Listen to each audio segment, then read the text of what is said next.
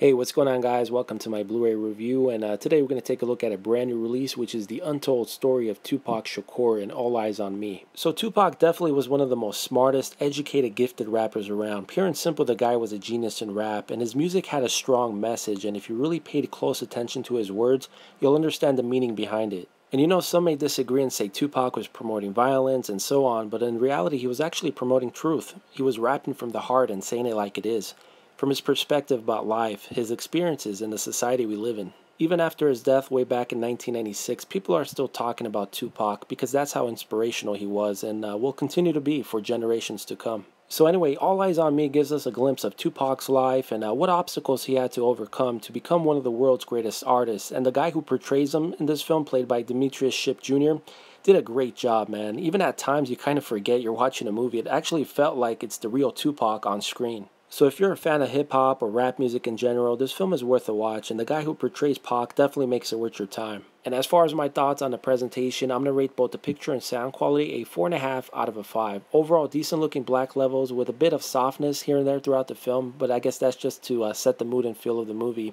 But uh, yeah, overall, nice looking presentation, and it's a, a, pretty solid audio track. This features a DTS 5.1 mix. And as far as special features, you get the making of featurette, including 11 deleted scenes, plus the All Eyez on Me conversations featurette, and the Demetrius Shipp Jr. audition tape.